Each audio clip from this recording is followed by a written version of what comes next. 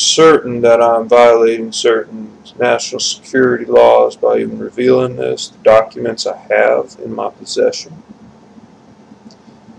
uh, are a violation, I'm sure, of national security law. Now, obviously, I've made copies of these documents. I've got them placed in a in uh, uh, very secure locations, and I've sent them to very trusted individuals. So on that end, uh, the documents are going to get out no matter what happens to me. If anybody hurts my family, these documents will be immediately released. Because I was told something from one of my sources last week, and he told me something that is just absolutely terrifying. It made me absolutely sick to my stomach as he described to me a very, very highly classified government project that is ongoing and that affects every man, woman, and child in this country. People need to know what is going on. He also sent me some documents, he faxed them to me, that verify everything he said. These documents are classified material. There are some white papers from the Department of Defense, from the Defense Advanced Research Projects Agency known as DARPA, also from Naval Intelligence. There's also a document from the CIA. And I've looked over them and I've, I've, I've familiarized myself with them very, very carefully over the past few days while been trying to recover. This information needs to be released to the public. And what what that information is, is this.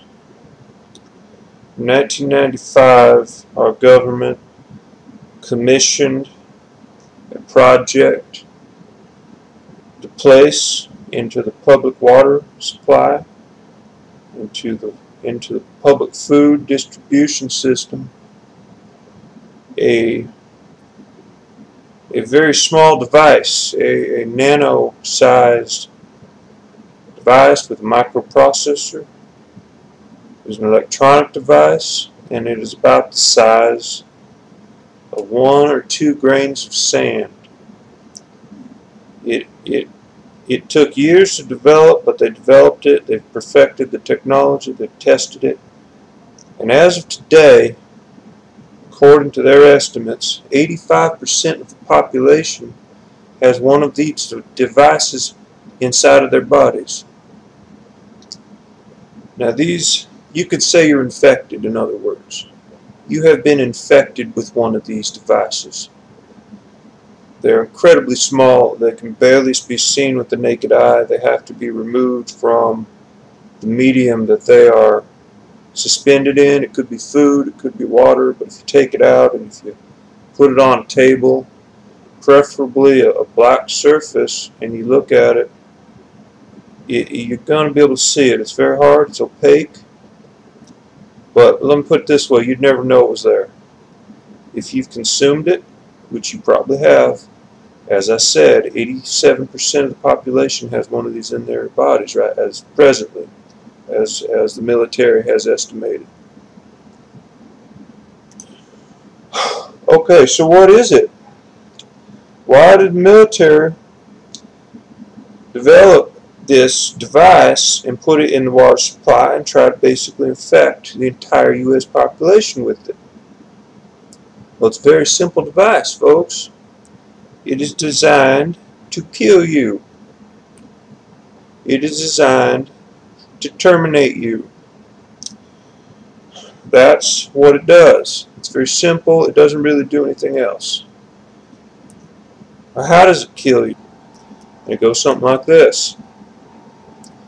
It is again the size of a grain of sand or so, a little bit bigger. It is a nano device contains a microprocessor, contains a receiver, and it, it can receive a uh, transmission, radio transmission. Once it receives this radio transmission, which is very specific, and can only it's it's something it's a let me put it this way it is a frequency that is only our military uses and only knows about it's not going to just be randomly activated while you're walking down the street.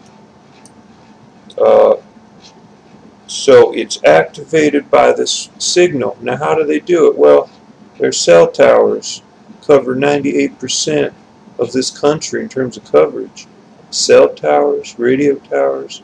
In addition to that, our military has uh, spent about five years setting up proprietary system, excuse me, that of coverage, not in addition to the cell towers. So what they've done in any large population center, they have installed transmitters uh, very small and they're in strategic locations. They cover every block of every large city and even small cities. And this has been set up over the past five years. The reason they want to do that is they want to be able to target these populations very specifically in a very small locality. Okay? Now what do these devices do? Okay, they kill you. How do they do it? I don't know fully, but what they do is it induces flu-like symptoms in the body. It causes the body to release antibodies that, in addition to causing flu-like symptoms, it will cause your body to produce antibodies that are uh, indicative of a flu uh, virus infection. You will die within 10 to 12 days the effectiveness, is what they call it in their documents, is 98%. That means 98% of people with which this device is implanted or uh, they are infected with this device. Once it is activated with the radio signal, 98% of people are dead within 10 to 12 days. 2% recover and the recovery reasons are not fully known. It is uh, often outside influences. It could be uh, a malfunction of the device. Right now our military wants to get it to 99%. It's at 98 right now. Basically, if this device has been activated in a population area, let's say they use a cell tower to send a signal out you're going to see everybody around you, including yourself, sick with a very severe case of what appears to be the flu. You will go to the doctor, they won't be able to help you, it will continue to get progressively worse. Your, your lungs are going to fill up with fluid.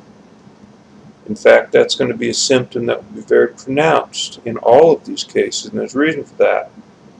That is because the device it enters the brain and it activates certain autoimmune responses that are indicative of a severe case of the flu. And this response is sort of like a runaway nuclear chain reaction. In other words, it causes your body to just absolutely melt down. So, again, it's very effective. It has been shown to work in 98% of the cases, and most of the time it just looks like a very bad case of the flu. a couple things I wanted to address before I go. Again, with this information, it's of the highest order of urgency. I hope you share it with family and friends. I hope I'm going to be releasing these documents. Uh, my source has instructed me to do it. He is in the process of retiring. He is also in the process of leaving the country. And he, for his safety, he would like me to hold on to the documents until he gives me the go-ahead he leaves the country. Because he is certain that he will be killed uh, if the documents come out. He feels they already know who he is, or at least they're getting close. So he is making arrangements for his own safety, and I respect that. But I've got the documents and I spread it around to friends, and it's no matter what happens to us, it's going to come out. Uh, I've had just people that are saying really terrible things about me. They're attacking me. It's just vicious. I've never experienced this. I'm a lawyer. I'm used to this stuff. But not on this level of it. It's just what I was told from my source is just simply this. They're what are called shills. Shills are these paid vermin that are paid by our government. Could be the NSA, could be the CIA, could be the Obama administration for all we know. It could be any anybody who wants to push an agenda. So these people will just come out of the woodwork and they will attack whistleblowers like myself, and they will just rip us apart. And they'll post things on the internet, and they'll they'll leave comments, and they'll they're just relentless, and they try to discredit you. So I've been told that's what's going on, and I believe it because I've seen it. There, these people are just vermin. They are just the lowest of the low. They're crawling out from their rocks to attack me. So I just felt I need to address that. It, it's really concerning me because I'm in the possession of classified documents. Uh, I've come across information here from my sources so important. People have to know about this. They have to hear about this. And we've got to figure out a way to fight it. Because this stuff's been put in the water supply, it's in our bodies, and they can activate it anytime with a drone, with with uh, radio signals, cell towers. They can activate it, and they can kill an entire city. They could kill an entire town. They could kill a few people in an apartment complex with this flu outbreak. You won't even really be suspicious of it. It'll just be a severe flu outbreak.